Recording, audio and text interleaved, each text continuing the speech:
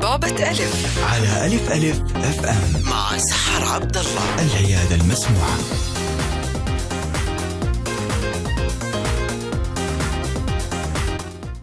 بسم الله الرحمن الرحيم والسلام عليكم ورحمة الله وبركاته. مساكم الله بالخير مستمعينا الكرام. مستمعي إذاعة ألف ألف أف أم الموجة السعودية.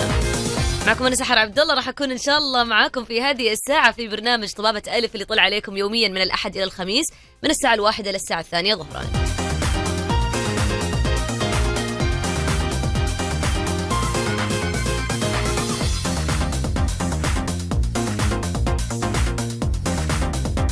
اليوم راح نتكلم عن عدة مواضيع في حلقتنا. راح نتكلم عن الأورام الليفية وبعدها راح نجاوب على أسئلة كثير صراحة جاتنا على موقع التواصل الاجتماعي تويتر من المستمعين. راح نناقشها ونتكلم فيها اليوم وراح نتكلم أيضا عن تكيس المبايض ومشاكل التحكم في البول. راح نحاول نغطي كل هذه المواضيع إن شاء الله في هذه الساعة.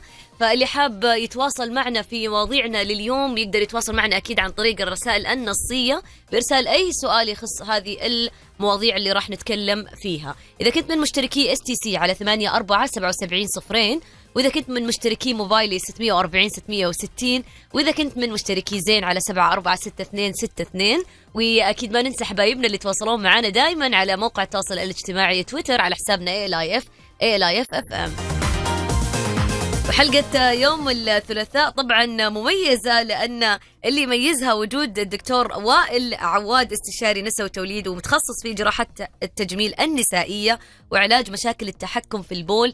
دائما يكون معانا يوم الثلاث هلا وسهلا فيك دكتور وائل.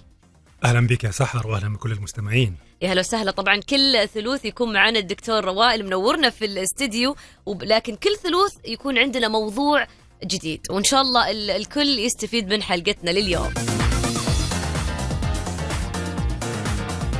آه، دكتور وائل نبغى نبدأ آه، في البداية حلقتنا عن ال- ال- الأورام الليفيه قبل آه، لا نتطرق ونسأل أو يعني في عدة أسئلة عندي من حبايبنا المستمعين فإن شاء الله ما نقصر مع الكل. بالنسبة للأورام ال- الليفيه دكتور وائل إيش إيش بالضبط الأورام الليفيه؟ أنا كلمة أورام هذه فجعتني شوية. شوفي دائما يجي في بال الواحد أورام يعني لا سمح الله غير حميدة والأمور هذه. فإيش بالضبط الأورام اللي فيه إيش مقصود فيها؟ شوفي زي ما أنت قلتي كلمة ورم كلمة خض وكلمة مخيفة. لكن هي كلمة مخيفة في غير محلها. وأنا هنا بطمن الناس وأقول لهم إن الأورام اللي فيها هي أورام حميدة وما بتتحول لأورام خبيثة. يعني احتمال إن هي تتح... تتحول لاورام خبيثة احتمال ضعيف جدا جدا جدا.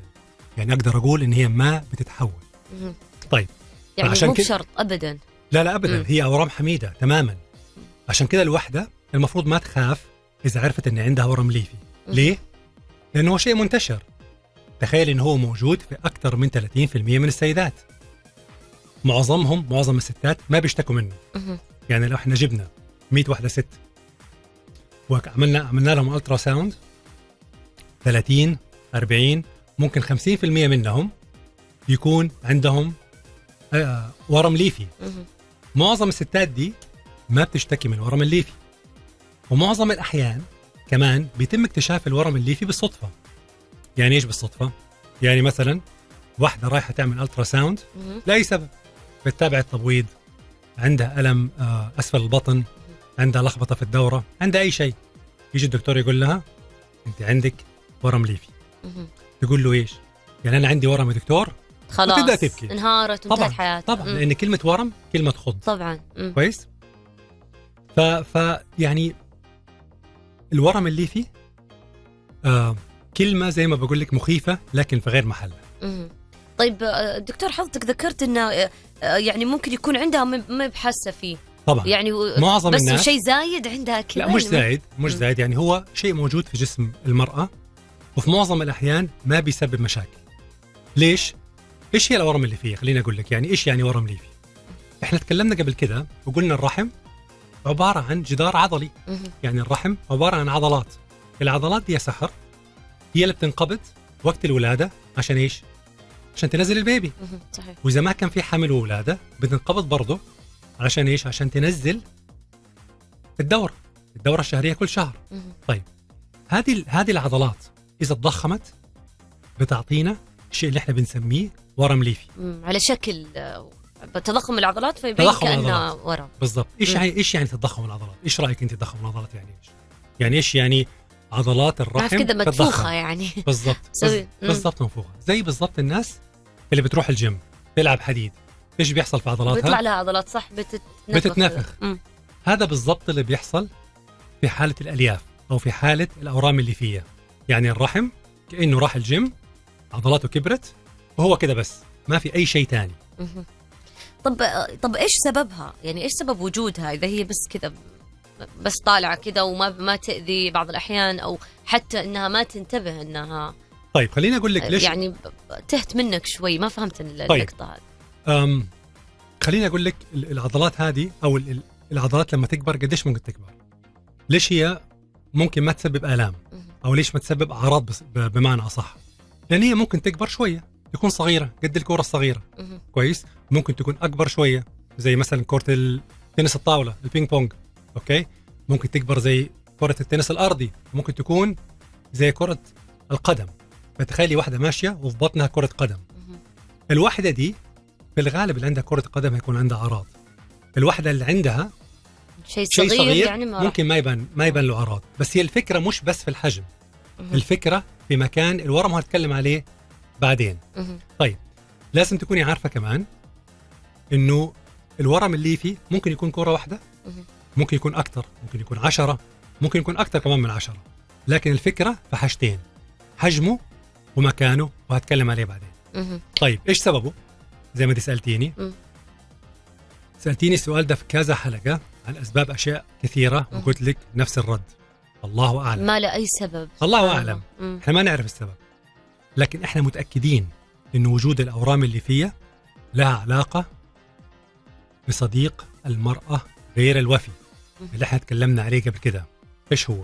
أنا بعرف انت مركزة معي ولا ما انت مركزة معي لا أنا أنا بتوه ب- ب- بانك دكتور روائل ما شاء الله عليك بالرغم إنك مميز في طريقة تفصيلك للسؤال وشرحك لكن كثر المعلومات اللي صارت أيوة. عندي ما يعني- خلاص. يعني ما يعني ما يعني ما أنت مركزة. لا لا مركزة بس أنا نسيت صراحة. خليني أقول لك خليني أكون صريحة معك طيب إحنا. تكلمنا قبل كده وقلنا إنه في هرمون مهم جدا بالنسبة للمرأة وبنسميه صديق لكنه غير وفي.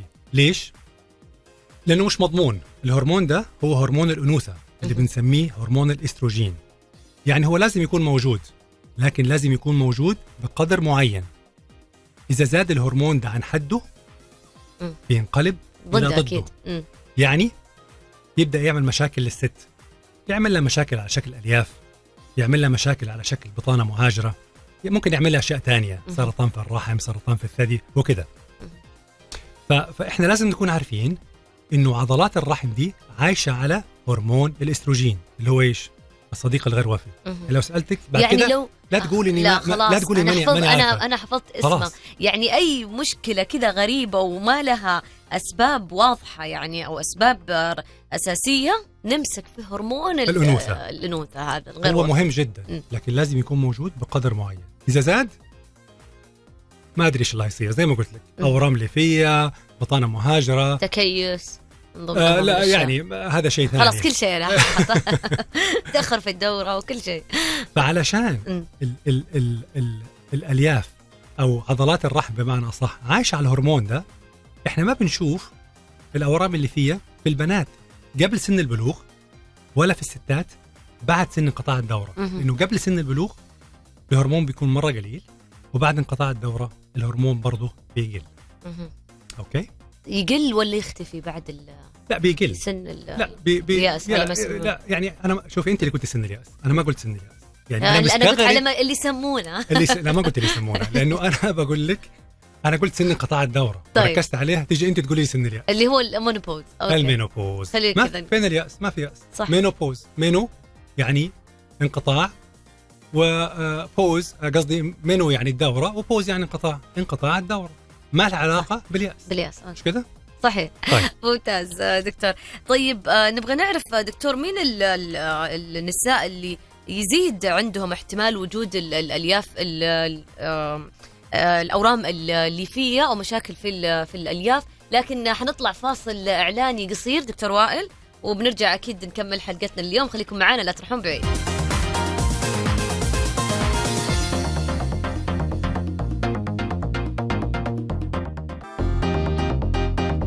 طبابة ألف. على ألف ألف أف أم مع سحر عبد الله. العيادة المسموعة. رجعنا لكم من جديد في برنامج طبابة ألف. ومكملين حلقتنا المميزة بوجود الدكتور وائل عواد استشاري نساء وتوليد ومتخصص في جراحات التجميل النسائية وعلاج مشاكل التحكم في البول. كنا جالسين نتكلم قبل الفاصل عن الأورام اللي فيه وأكيد تواصلكم مشاركاتكم معنا. تهمنا على موقع التواصل الاجتماعي تويتر. على حسابنا ALIF ALIF FM وحسابي S7R underscore AB وحساب الدكتور وائل أيضا DR وائل أواد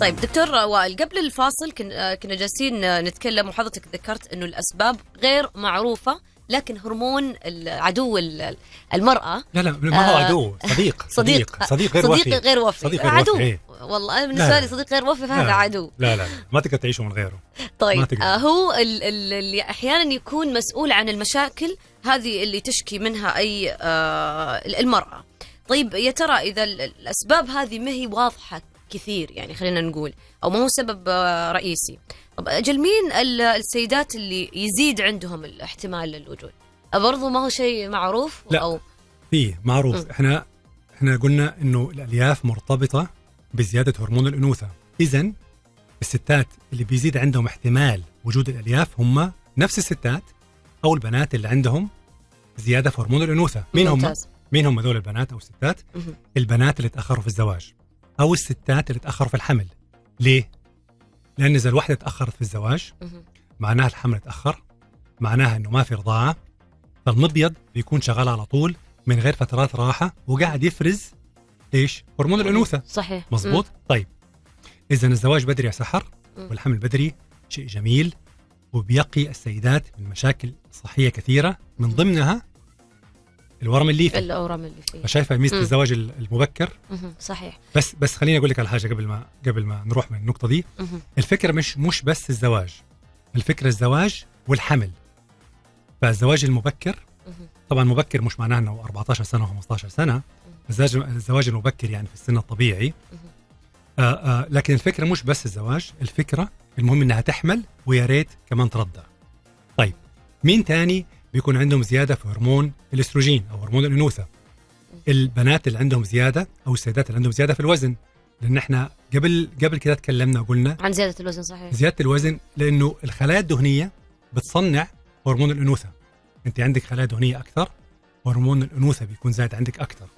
مش أنت طبعا. نتكلم على الناس التانيين. طيب ممكن كمان يكون منتشر في عوا... في عوائل معينة. يعني تلاقي الأم عندها ورم ليفي.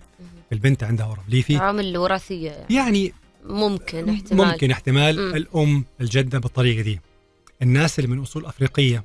بتزيد عندهم احتمال وجود الأورام الليفيه كمان ممكن يزيد وقت الحمل وممكن يصغر يعني في الغالب بيصغر بعد سن انقطاع الدورة. مهم.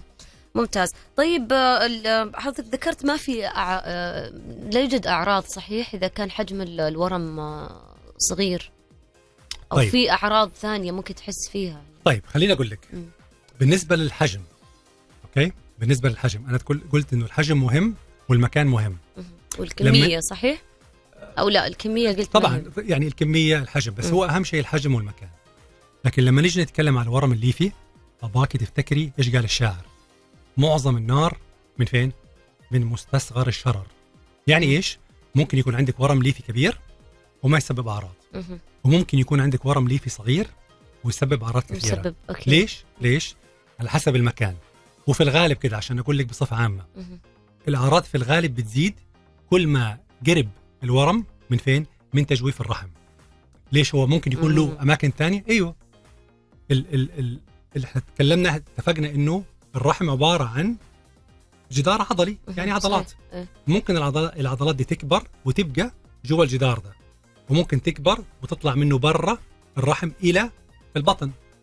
وممكن تكبر وتطلع منه إلى داخل تجويف الرحم. يعني أما إنها تكون جوا العضلة نفسها جوا الجدار تخيلي عندك جدار.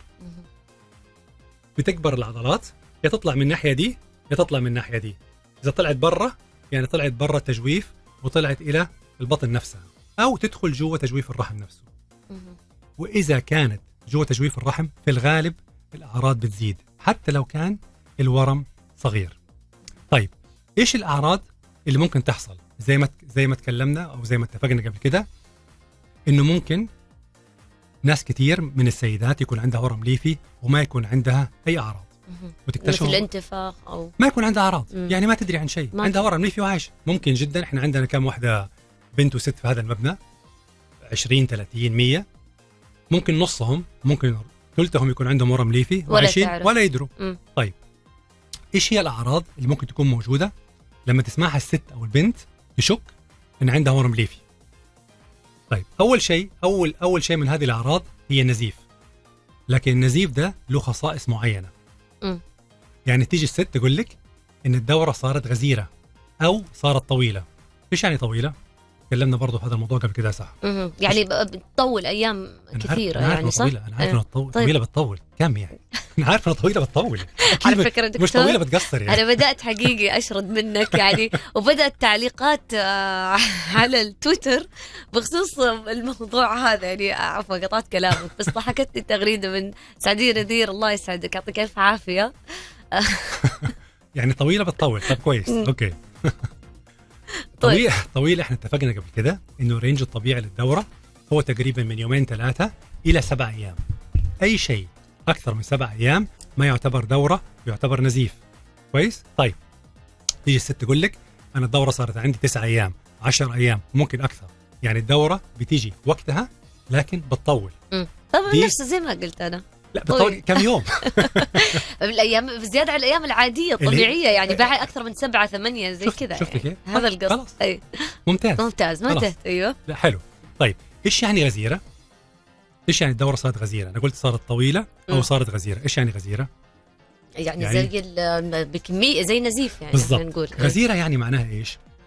يعني ممكن الدورة تنزل على شكل أوصال، تلاقي الست أو البنت بينزل منها أوصال غامقة. ممكن البنت من كثر غزارة الدورة تحتاج تستخدم أكثر من فوطة صحية في نفس الوقت. ممكن تحتاج إنها تغير الفوطة الصحية بكثرة يعني كل ساعة كل نص ساعة تلاقيها حاطة فوطة صحية، ليش؟ لأنه إذا ما غيرت هينزل الدم على ملابسها مم. وممكن وهي قاعدة على كرسي أو حاجة تلاقيه بقع الدم على الكرسي. كل هذه الأشياء من أعراض غزارة الدورة. اذا غزارة الدورة أو طول الدورة من أعراض اللي ممكن تخلي الست أو من الأعراض اللي ممكن تخلي الست أو البنت تشك إن هي شك إنه يكون عندها عندها ورم ليف. ورم ليف. طيب خليني أقول لك على حاجة. في شيء باكد عليه. في ناس بتقول وده كلام مش مظبوط إنه الدم اللي بينزل بين الدورة والدورة من أعراض الأورام الليفية. طبعا ده غلط. لا الدم اللي بينزل بين الدورة والدورة من ع... من أعراض الأورام الليفية ولا الدم اللي بينزل بعد انقطاع الدورة. اللي هو سن إيش؟ أكيد مش سن اليأس إيه،. أوكي ال menopause آه. ال menopause مم. اللي بيحصل في نهاية الأربعينات أو في بداية الخمسينات مش بسبب الألياف ولازم الست ما تسكت عليه ولازم تروح للدكتور طبعا هتيجي تقولي لي انت بس أنت قلت لي قبل كده فإنه ممكن يحصل وقت التبويض. ينزل شوية دم على البنت أو الست صحيح مظبوط، في نص ب- الدورة. بين ال... إيه. في نص الدورة. مظبوط بس اللي هينزل نقط أنا بتكلم هنا واحدة بين الدورة والدورة ينزل عليها دم يوم يومين ثلاثة هذا الشيء مش طبيعي ما هو أما طبيعي. كم نقطة كم نقطة دم في نص الدورة ما في مشكلة وده في الغالب معناه إنه في هذه الدورة حصل تبويض طيب. إيش بس عفوا؟ دكتور لا, لا أقاطعك بس هذه ال ال يعني لو تكرر عندها هذا الشيء صح؟ مو بلو صار مرة واحدة يعني لو. أو من أول ما يصير أول مرة يكون خطر إذا حصل طبيعي؟ إذا واحدة انقطعت عندها الدورة مم. تماما وجاء نزل عليها بعد كده دم يعني إحنا بنقول سن انقطاع الدورة الدورة ما تيجي لمدة سنة مم. خلاص واحدة عمرها نهاية الأربعينات بداية الخمسينات انقطعت عندها الدورة لمدة سنة حتى لو نزل عليها دم لمدة مرة واحدة أو لمرة واحدة. في خلال ال- السنة. بعد أو بعد بعد, بعد السنة أي. المفروض تروح للدكتور. عشان تكشف وتشوف إيش المشكلة دي طيب إيش ممكن يحصل تاني لوحدة عندها آه ألياف في الرحم أو أورام ليفية ممكن يحصل عندها ألم أثناء الدورة طيب ما كل الناس بيحصل لها ألم.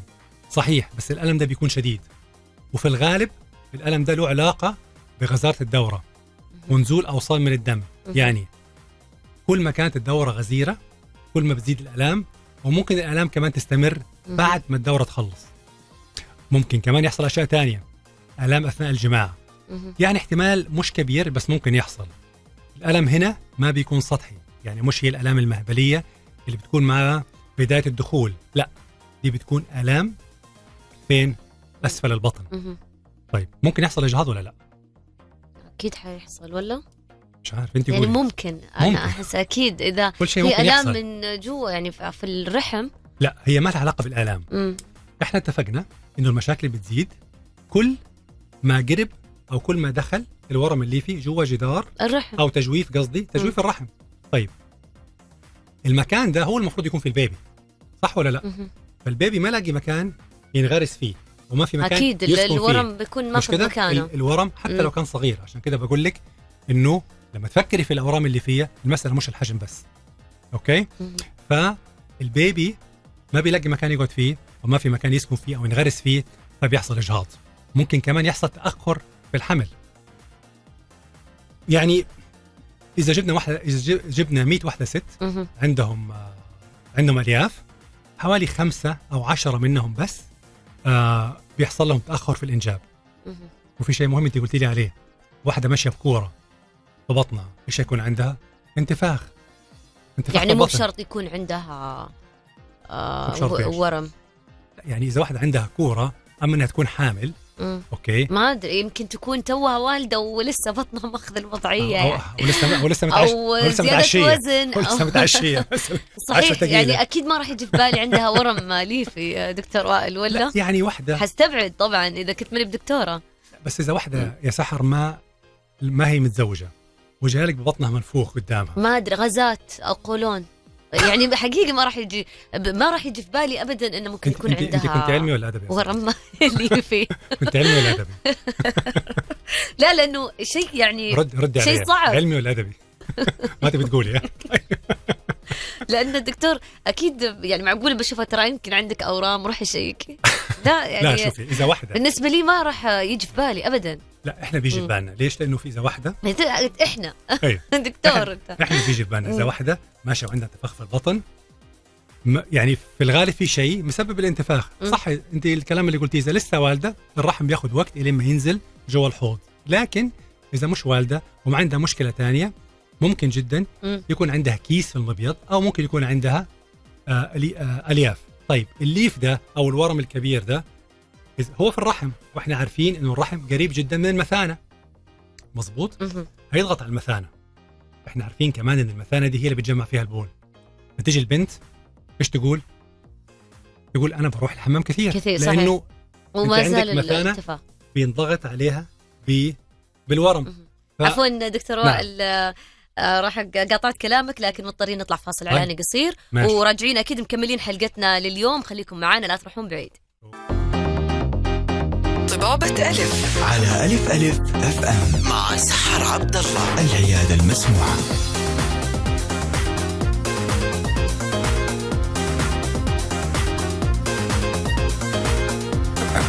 تكلمنا قبل ال- الفاصل عن أعراض ال- آه، أو وأسباب الأورام الليفية. آه، مع ضيفنا الدكتور وائل عواد استشاري نساء وتوليد متخصص في جراحة التجميل النسائية وعلاج مشاكل التحكم بالبول. دكتور وائل نبغى نعرف إيش آه، كيف بيكون التشخيص آه، دكتور وائل شوفي إيش الخطوات اللي أهم وأشهر فيها؟ طريقة للتشخيص. هي ال ultrasound إذا كانت الست متزوجة بنعمل لها ultrasound عن طريق المهبل إذا كانت مش متزوجة بنعمل لها. ultrasound عن طريق البطن طبعا ممكن نشخص بالمنظار والمنظار بيكون للعلاج.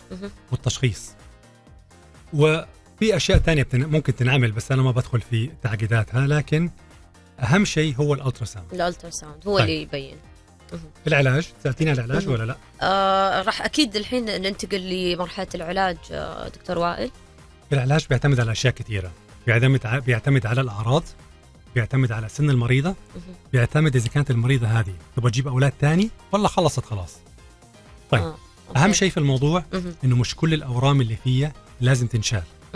لأن إحنا سحر سنة كم؟ 2015 ما إحنا في 1715 في 2015 ولسه إلى الآن في ستات. بيفتحوا لهم بطنهم عشان يشيلوا. ورم ليفي صغير. تخيلي هذه الست. معقولة؟ إي والله. ممكن يحصل لها نزيف. مم. ممكن يحصل لها تساقات تدمر لها مستقبلها كله بدون أي داعي. إذا إذا ما في أعراض ما في داعي للعلاج. إلا إذا كان شيء كبير طبعا. والكبير ده هيسبب أعراض. طيب. كيف العلاج الجراحة. زمان كان بت... كان لازم يفتحوا بطن المريضة عشان عشان يشيلوا يشيلونها يشيلوه. يشيلوا الورم الليفي لكن الان الآن معظم الحالات بتنعمل بالمنظار يعني لو في ورم في تجويف تجويف الرحم بنعمل منظار ونشيل الورم بدون فتح البطن. بندخل المنظار جوا المهبل عنق الرحم الرحم نشوف ال ال ال الورم اللي في نازل كده كأنه زي زي النجفة نازلة من من. من من من من, من الرحم أو من تجويف الرحم بنقعد نقشر فيه شوية شوية شوية شوية يعني إحساس إحساس غريب شوية. لما كأنك مش دكتوره كأنك كأنك بالضبط واحد زي معلمين الشاورما. تقعد وصف طيب. بالضبط. كانك بالضبط. طب ممتاز. أنا أتوقع هذا الوصف اللي أنا راح أفهمه. ما فهمت كيف نقطع شوي وشكله زي النجفة. طيب. بالضبط. كأنك عندك شيء معلق وتقعدي تشيلي منه شوية شوية شوية إلين ما تطلعيه كله. طيب. لكن إذا كان ال- الورم ده داخل جوا البطن وكان كبير وعامل مشاكل في بيتعمل له منظار وينشال برضه عن طريق البطن. في طريقة ثانية بيعملوها أطباء ال- دكاترة الأشعة بيعالجوها عن طريق القسطرة. هذه بتنعمل عن طريق آه، آه، دكاترة الأشعة اللي بيسموهم الأشعة التداخلية. اذا عشان بس ألخص لك الموضوع في كلمتين المفروض نخاف من حكاية الورم الليفي دي ولا ما نخاف منها؟ ما نخاف منها. ليه؟ لأن ورم حميد ومش هيتحول لسرطان.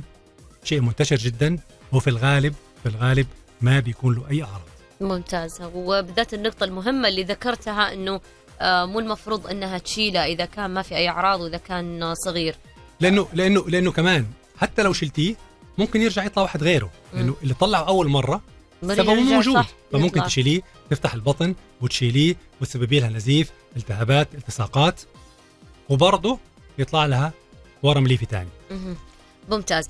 آه طبعا خلينا نرجع نذكر حبايبنا المستمعين باللي حاب يتواصل معنا أكيد يقدر يرس- يرسل أي سؤال عن طريق الرسائل النصية STC 847700 موبايلي 640 660 وزين 746262 في كثير من الأسئلة آه، دكتور وائل وكثير من المستمعين آه، بالذات الأسئلة المتكررة واللي يمكن في حلقتنا السابقة ما بدانا ن- نجاوب عليها. السؤال اللي دائما يتكرر من من المستمعين آه، بخصوص الحمل بعد الولادة والإجهاض. ال- دائما دائما يسألون أنا اجهضت مرتين ثلاثة أقدر أحمل ثاني؟ يعني دائما السؤال هذا متكرر يعني بعدة طرق يعني. آه، فايش رأيك يا دكتور وائل؟ شوفي بعد الإجهاض ممكن الست تحمل لما تكون هي جاهزة نفسيا وجسديا. تحمل أي وقت ما في مشكلة. مش لازم تحمل بعد شهر شهرين ثلاثة. المهم هي تكون جاهزة نفسيا. تعرفي في ناس كثير في ستات كثير بعد الإجهاض بيتأثروا ويزعلوا. طبعا إحنا متفاهمين. هذا الوضع. فمش معقول تكون هي لسه نازل لها بيبي ونقول لها تحملي في الشهر الجاي أو الشهر اللي بعده. هي أكثر واحدة. هي أكثر واحدة. ممكن آه، هي تعرف ظروفها وتعرف حالتها النفسية وحالتها الجسدية. عندها أحد يساعدها ما عندها أحد يساعدها فهي اللي بتقرر. لكن ما في ما في وقت معين أقدر أقول لك والله بعد الإجهاض لازم تستنى فترة معينة. ما في أي فترة معروفة يعني طيب وبالنسبة لي آه، آه، اللي بعد ال- يعني إذا كانت توها مثلا توها والدة وتبغى تحمل ثاني عطوا برضه ما في وقت معين صح هو شوف يعني إحنا ما في خطر عليها يعني هو يعني هو هو. طبعا الحمل المتكرر حمل مش كويس يعني المفروض إن الوحدة ترتاح بين الحمل والحمل. وزي ما زي ما زي ما إحنا دينا بيعلمنا الرضاعه لمدة سنتين. السنتين دي إذا حصل رضاعه مش هيحصل تبويض فمش هيحصل حمل. فلازم الوحدة ترتاح بين كل حمل وحمل. لأن كل بيبي مهم. بياخذ من جسم الست شوية. طب متى ممكن نبدأ إذا واحدة تبغى تمنع الحمل؟ هل الرضاعه لوحدها كافية ولا لا؟ ده برضه سؤال بيتكرر كثير مهم. هل صحيح الرضاعة هذا من ضمن الأسئلة هل الرضاعة لوحدها تكفي ولا ما تكفي؟ متى ممكن الوحدة تبدأ حبوب من الحمل أو أي وسيلة من وسائل من الحمل بعد الولادة أو بعد الإجهاض زي ما أنت قلتي خليني أقول لك بعد الولادة متى بيرجع التبويض؟ إحنا مش ممكن يحصل حمل بدون تبويض متى بيرجع التبويض بعد الحمل؟ قصدي بعد الولادة في الغالب بيرجع بعد شهر شهر ونص إلى ثلاثة شهور يعني ما بين 45 يوم إلى 90 يوم. فانا عندي نوعين من الستات بعد الولادة. واحدة ما بترضع دي ممكن تبدأ تستخدم وسائل على طول زي مثلا آه، إبرة منع الحمل ممكن تستخدم اللولب حتى بعد الولادة الطبيعية أو القيصريه على طول بعد الولادة. لكن حبوب منع الحمل العاديه عارفه إن إحنا عندنا نوعين من حبوب منع الحمل حبوب الرضاعة ممكن تستخدمها على طول وحبوب العادية اللي هي فيها نوعين من الهرمونات. حبوب منع الحمل العاديه في الغالب بنستخدمها بعد شهر من الولادة. لكن لازم مهم جدا إن إحنا نتأكد إن الست هذه ما عندها شيء بيزود احتمال حدوث مشاكل في الدم ليها. إيش هي الأشياء هذه؟ هي تكون فوق 35 سنة إن وزنها زايد أو تكون بتدخن. هذه الوحدة اللي ما بترضع. طب لو كانت بترضع إحنا قلنا إن الوحدة وهي بترضع ما بيحصل تبويض. بس هذا الكلام صح ولا غلط. هو الكلام ده صح وغلط في نفس الوقت. ليه؟ لأنه لازم الوحدة عشان نتأكد إن ما بيحصل لها تبويض وهي بترضع يكون في ثلاثة أشياء موجودة. أول شيء. لازم تكون والدة من أقل من ستة شهور. ممتاز. لازم تكون ما بتعطي للبيبي أي شيء تاني غير الرضاعه الطبيعيه يعني مش رضعة طبيعية ورضعة صناعية. ما ينفع. لا تكون ترى ولازم تكون ما جاتها الدورة. إذا كان عندها ثلاثة أشياء هذه إحنا نقول لها إن هي ما عندها تبويض. طيب.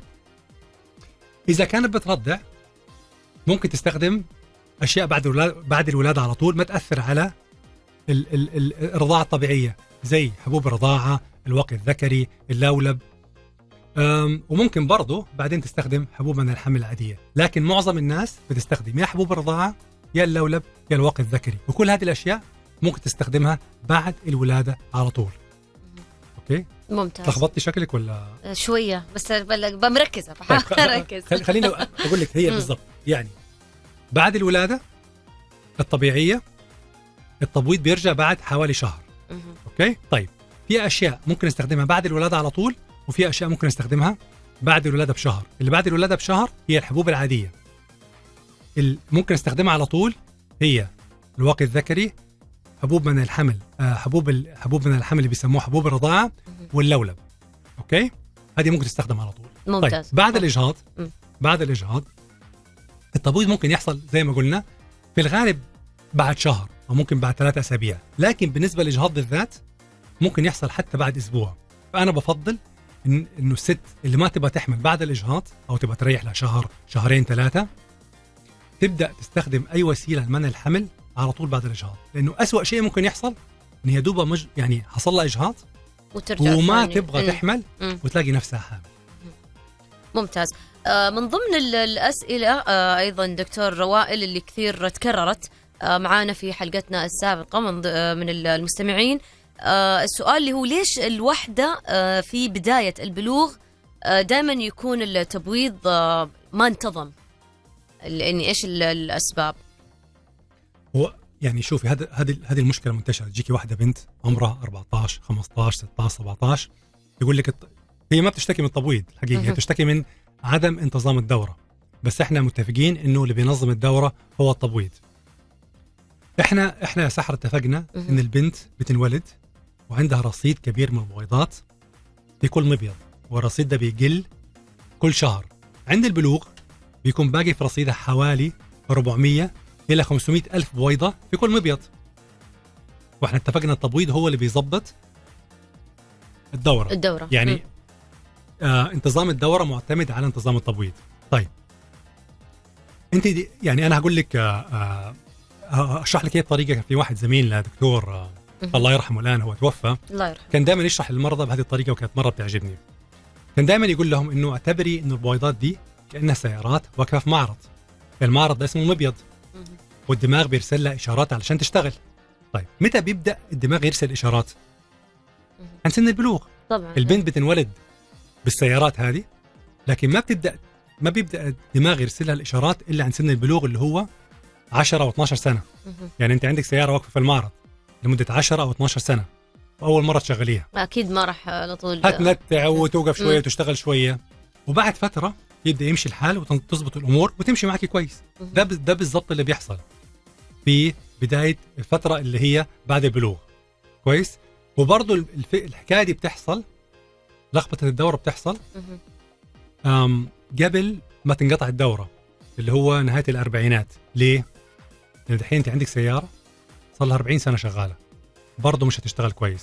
تبدأ تسخن وتنتع ومش عارف إيش توقف في الأخير. وده اللي بيحصل في سن انقطاع الدورة اللي هو إحنا إن شاء الله ممكن نتكلم مش سن اليأس.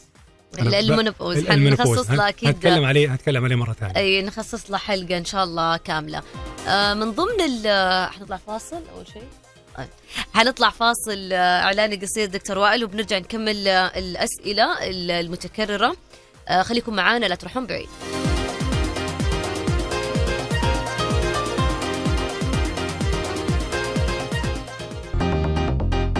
طبابة ألف. على ألف ألف أف أم مع سحر عبد الله. العيادة المسموعة.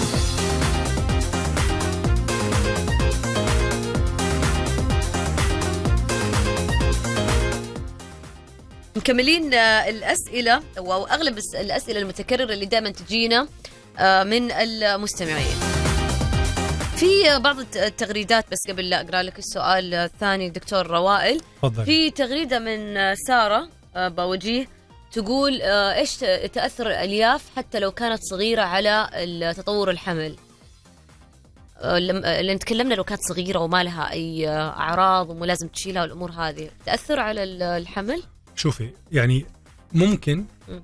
ال- الألياف حجمها يزيد وقت الحمل وزي ما آه. قلنا إن هي في الغالب بتصغر بعد سن انقطاع الدورة يعني وقت الحمل ممكن تزيد بس إحنا ما بنعالجها وقت الحمل حتى لو عملتي عملية قيصرية وشفتي ورم قدامك ما بنشيله لأنه. كمية الدم اللي بتكون في الرحم أو اللي رايحه للرحم بتكون مرة كثيرة فبيكون في خطورة إن إحنا نعالجه. وفي الغالب هو بيرجع يظهر ثاني ف إذا كانت صغيرة إذا كان واحدة ست عندها الياف وهي حامل في الغالب ما يحصل لها مشكلة حتى لو كبر انه مش هيكبر ب... ب... بنسبة مرة كبيرة.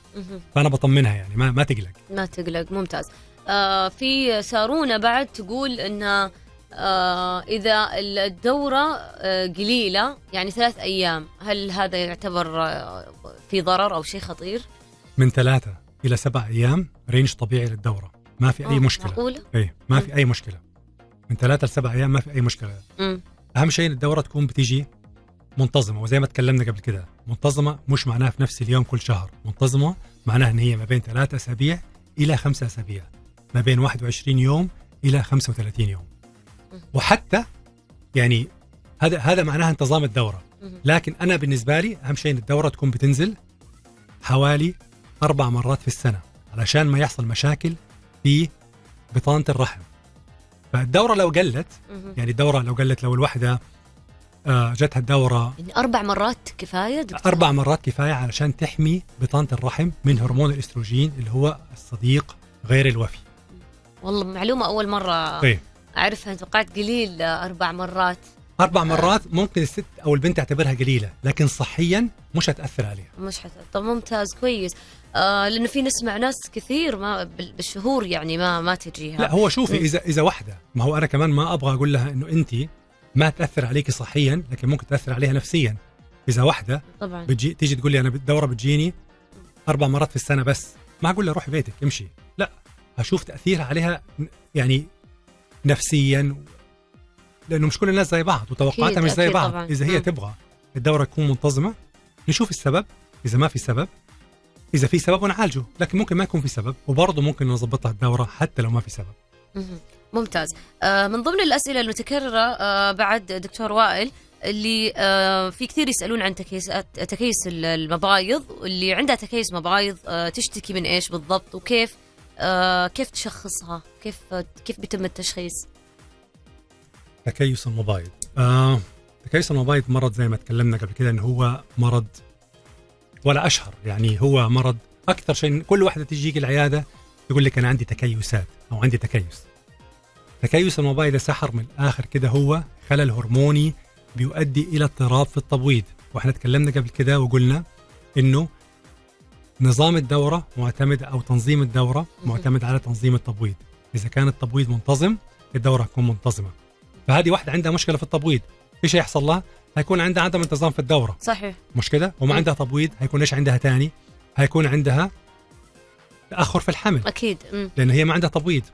المشكلة الثالثة اللي ممكن تحصل ممكن يحصل هم عندهم عند الناس اللي عندها أو البنات أو الستات اللي عندها تكيس في المبايض بيكون عندها زيادة في هرمون إيش؟ ال- الهرمون اللي هو الصديق الغير لا لا غلط غلط. المرة دي غلط. أنا غلط أبغى أحشرة في لا. كل شيء. لا لا لا المرة دي هو بريء. عندهم عندهم زيادة في هرمون الذكورة. مم. أوكي؟ عندهم زيادة في هرمون الذكورة. فإيش بيطلع لهم؟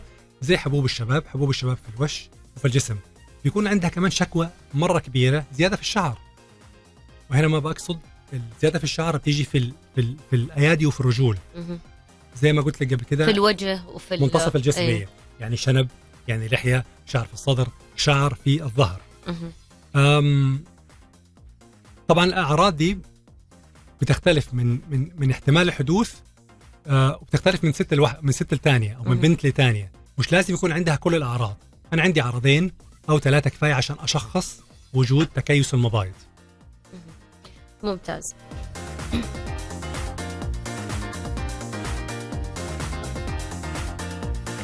طيب في سؤال آه، أيضا عن علاج آه، آه، بالنسبة للناس اللي تشتكي من تكيس المبايض أو اللخبطة في ال- ال- الهرمونات وعندها زي ما ذكرت الشعر الزايد في الأماكن الغير مرغوب فيها والحبوب ال- اللي تطلع بكثرة على الجسم وال- والوجه أوكي. أم شوفي بالنسبة للشعر الزايد والحبوب اللي بتطلع في الوجه حبوب معنى الحمل. طبعا هو أساس خلينا بس نقول إنه أساس علاج تكيس المبايض هو نزول الوزن. لأنه 50% تقريبا نص البنات أو السيدات اللي بيشتكوا وزنهم زايد. بيشتكوا من تكيس المبايض بيكون عندهم وزن زايد. لكن مش كلهم وزنهم زايد. فالناس اللي عندها وزن زايد لازم يكونوا عارفين إنه أساس العلاج هو نزول الوزن. وبعدين نشوف إيش المشكلة. يعني الخطوة الأولى. الخطوة الأولى لازم في كل في كل الأعراض دي. هي كانت هي لخبطة في الدورة كانت هي تأخر في الحمل كانت هي زيادة في الشعر وحبوب. لازم وزنهم ينزل. طيب هننزل لها وزنها بعدين نعطيها حبوب من الحمل. حبوب من الحمل مهمة جدا في علاج الح... في علاج آه ال- ال- الحبوب اللي في الوش وزيادة الشعر. ليه؟ لأن هي بتعمل يعني بتشتغل بطر- بطرق مختلفة لتعديل الارتفاع في هرمون الذكورة اللي قلنا عليه. طبعا إحنا ممكن نعطي علاجات تانية علشان نساعد حبوب من الحمل. لكن لازم نكون عارفين إنه حبوب من الحمل والعلاجات التانية دي بتشتغل على الحد من ال... من ظهور الشعر الجديد. يعني هي واحدة عندها شعر الآن مش هيروح بالحبوب ولا بالأدوية التانية اللي بنسميها anti-androgens مهم. okay؟ لازم تشيل الحبوب لازم تشيل الشعر الموجود الآن. تشيله بالشمع تشيله بالليزر تشيله بأي طريقة. مهم. أي طريقة بالضبط. ممتاز. لكن برضو شيء مهم جدا إن إحنا لو استخدمنا شمع أو ليزر بس مش كفاية. لأنه؟ بيرجع ثاني. لا بالضبط لأنه هيشيل الشعر الموجود لكن مش هيمنع ظهور الشعر الجديد. تيجي تقول لك البنت يا دكتورة استخدمت الليزر وما نجح معايا. اذا أساس العلاج هو نزول الوزن وحبوب من الحمل. وزي ما قلنا الليزر أو الشمع في أدوية ثانية اللي هي قلنا عليها انتي اندروجينز متى بنستخدمها؟ بنستخدمها بعد حوالي ست شهور إذا ما تحسن الوضع مع حبوب من الحمل لحالها. ممتاز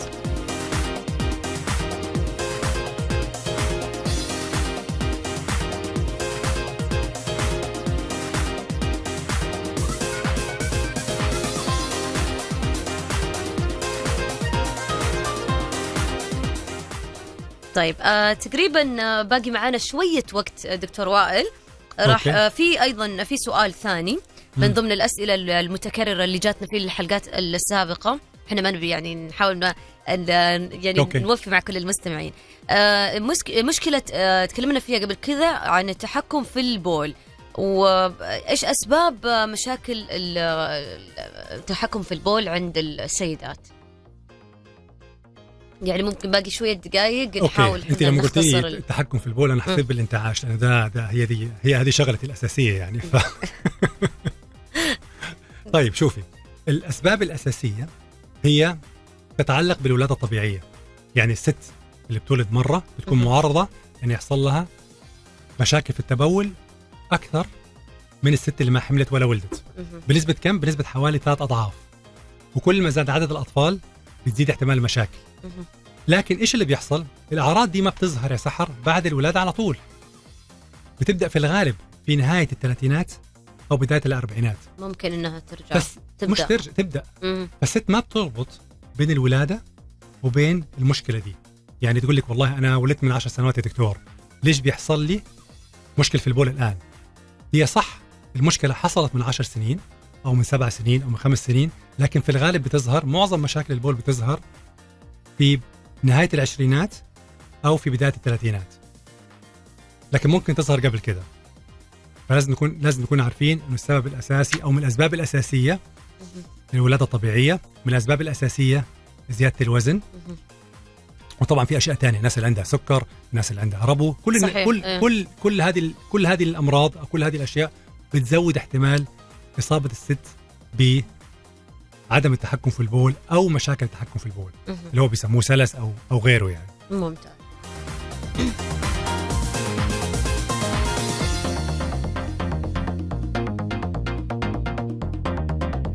طيب آه بنلاحظ كثير دكتور وائل إن قليل من النساء أصلا آه تتكلم عن هذه المشكلة كيف نبغى نعطيهم يعني كذا باختصار عن نبغى نتكلم شوية عن العلاج عن علاج هذه ال- المشكلة آه فإيش رأيك آه، دكتور؟ شوفي هو ما أقدر أقول لك علاج لأنه العلاج بيختلف من حالة من حال لحالة. لحالة أكيد يعني بعض الحالات بنحتاج, بنحتاج لها أدوية أو هي بتحتاج أدوية عشان تقلل من حساسية المثانة أو مثلا ممكن بعض ال- بعض الحالات تحتاج حقن بالبوتوكس وده بيعتبر من الأشياء الجديدة في علاج مشاكل البول.